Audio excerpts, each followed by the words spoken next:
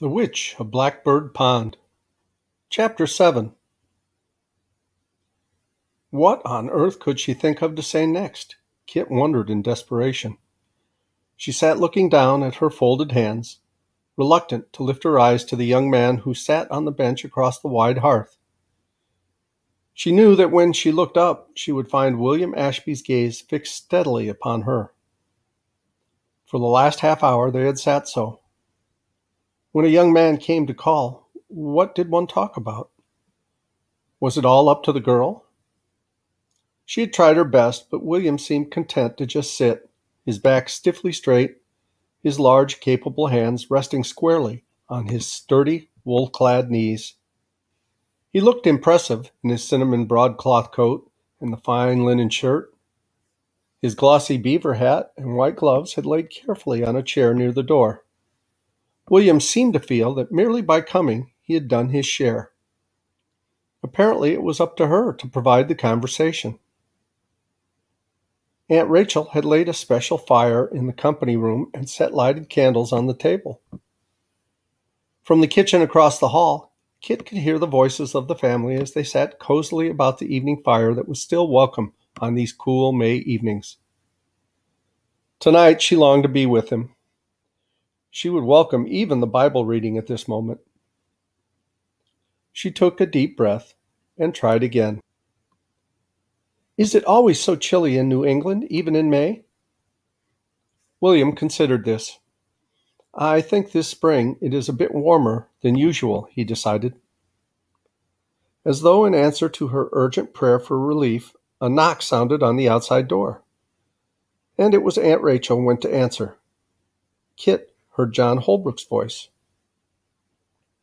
Her aunt welcomed him cordially, and in a few moments put her head in at the parlor door, her understanding glance taking in the two silent young people. Why don't you both come and join us? she suggested.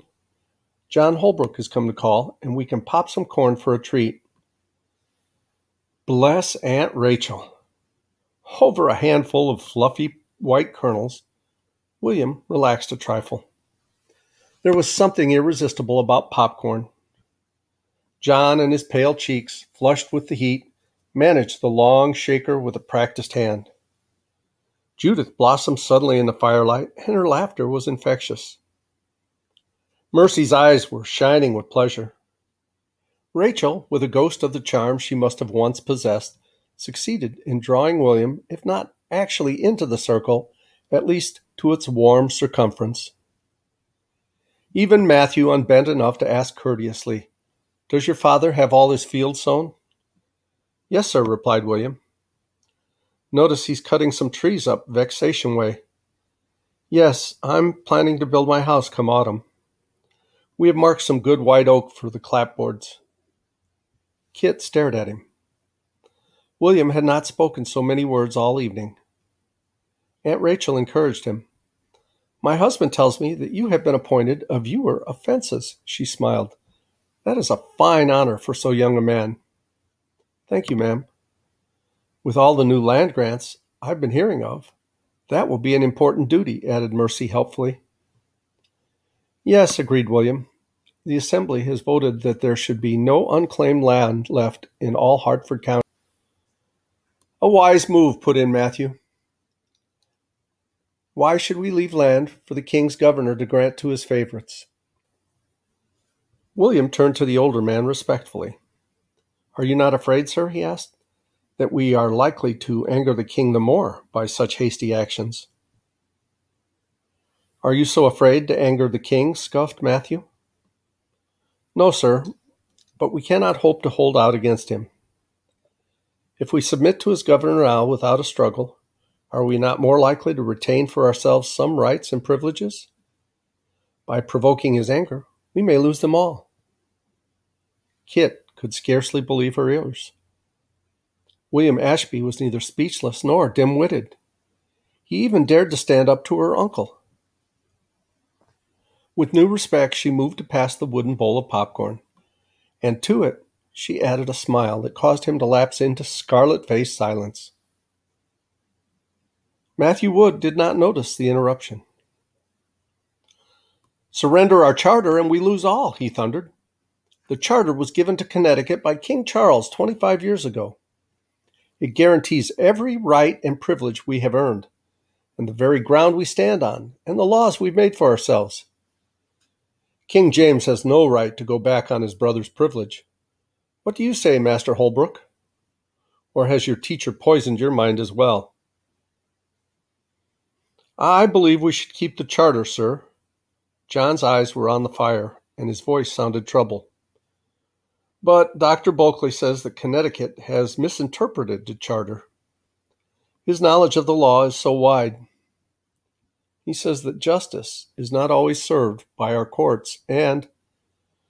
Bah! Matthew Wood pushed back his chair and rose to his feet. Justice. What do you young men know about rights and justice? A soft life is all you have ever known. Have you ever felled the trees in a wilderness and built a home with your bare hands? Have you fought off the wolves and the Indians? Have you frozen and starved through a single winter? The men who made this town understood justice. They knew better than to look for it in the king's favor. The only rights worth all that toil and sacrifice are the rights of free men, free and equal under God to decide their own justice. You'll learn, mark my words, some day you'll learn to your sorrow. He stumped off up the stairs without a good night. Oh dear, could there never be a pleasant moment without this senseless argument? After Matthew's departure, the conversation never really righted itself.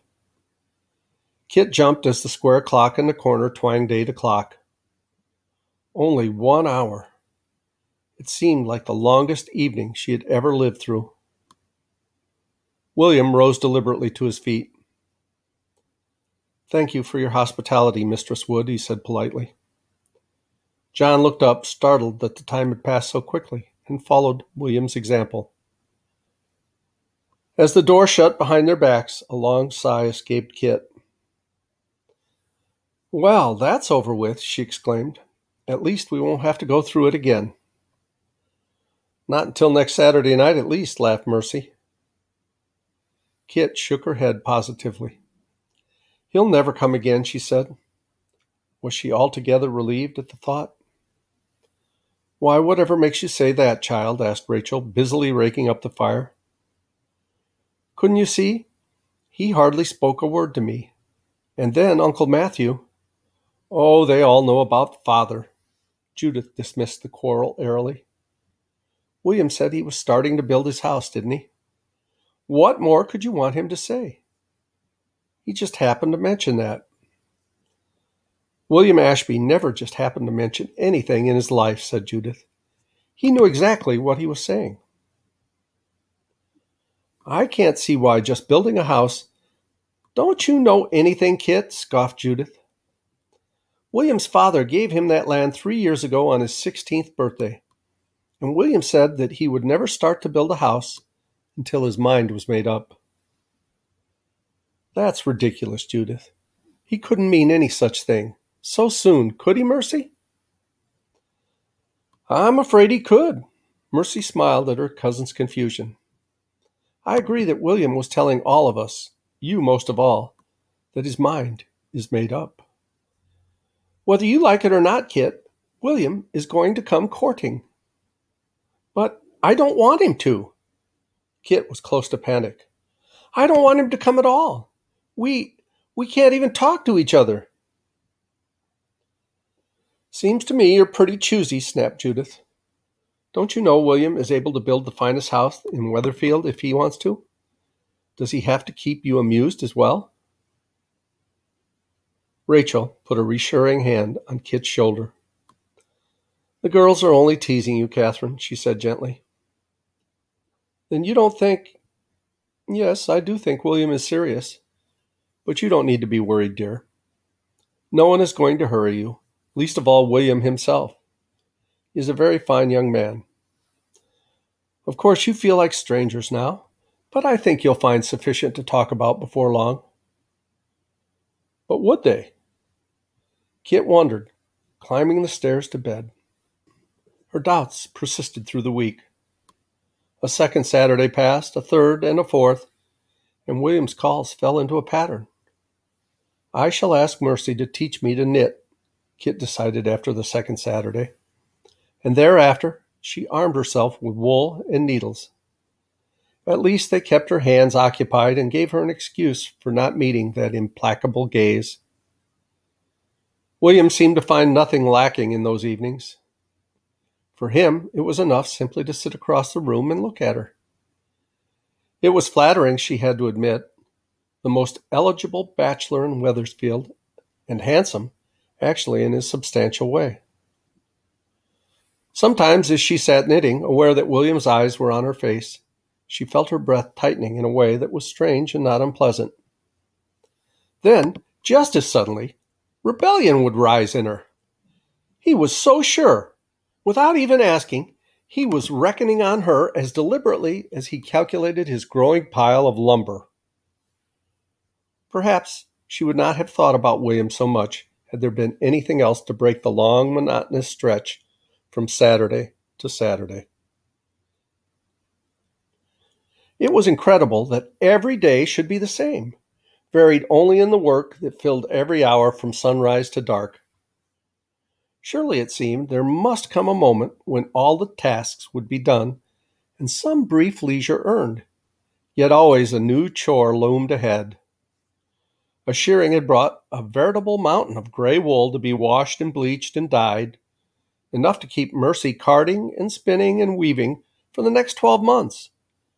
There was water to draw and linen to scrub, and everlastingly the endless row of vegetables to weed and hoe. Kit had not found a single one of these tasks to her liking. Her hands were unskilful, not so much from inability as from the rebellion that stiffened her fingers. She was Catherine Tyler. She had not been reared to do the work of slaves.